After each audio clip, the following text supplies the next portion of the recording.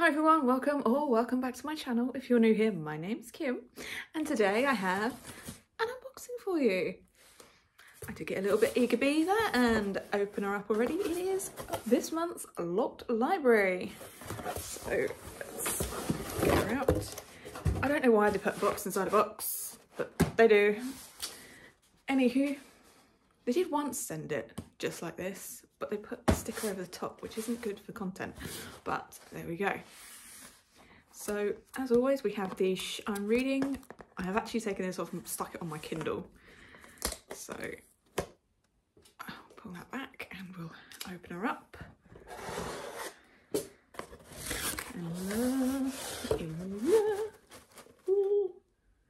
As always, all of the recycled paper on the top. Again, we can't see what book it is because it's just shredded paper, but we have, as always, the I'm reading on the tissue paper. We'll open up the tissue paper and oh, she pretty. Oh, that is very pretty. Okay, this, oh, so the locked library for May is, oh, All the Dead Lie Down by Kyrie McCauley? If I'm saying that wrong, I'm so sorry. That's beautiful. Do love that. Oh, getting into the detail, you've got skeleton. Oh, I like that. Spine, all the dead lie down. Oh, royal. Macabre yet somehow cosy, All the Dead Lie Down is perfect for readers who enjoy charmingly disturbing children and grand old houses full of secrets. A great book to curl up with on a dark night. Kendare Blake. Oh, we have. Oh, I do like that blue. Top and bottom, we have a ribbon, ribbon a bookmark as always, and then we have some beautiful edge there. That's that's pretty.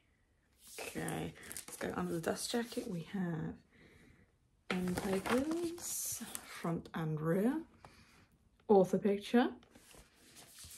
Let's take off the dust jacket and have a look underneath if I can get my fingers under it. Nothing on the reverse of the dust jacket, but we do have a little bit of pretty foiling on the hardcover there and the rear and I have noticed that's all of if you put all the hardbacks on display together they all line up. You have the key on every single one. It's exactly the same design. I do like that touch. Make my bookshelf look very pretty. Having it all in one line. Okay. So open it and have a flick through. We are 361 pages long. So not all that many. The writing is quite large as well. So it shouldn't take too long to read. I really need to get on to reading my subscription book.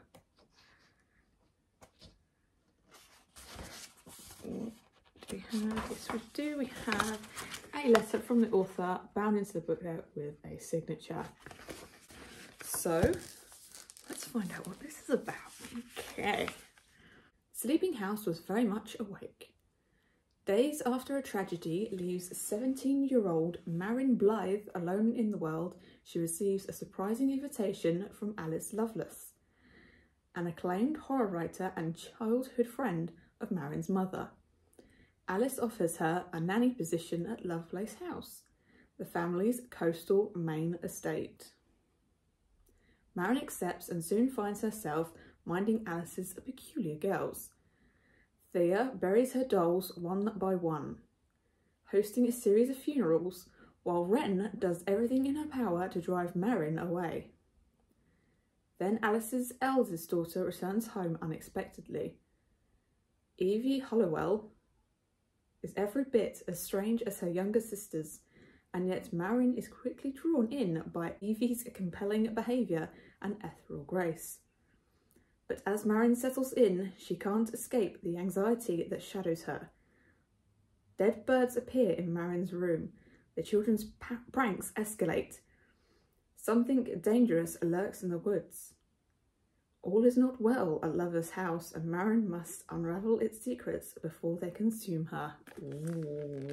Ooh. Okay, I like, I like. That's a pretty book. Mm. Okay, so there you go. That is the May Locked Library book.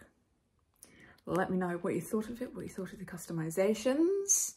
Let me know when you read it and what you thought of it. Yeah, can't wait to dive into this one.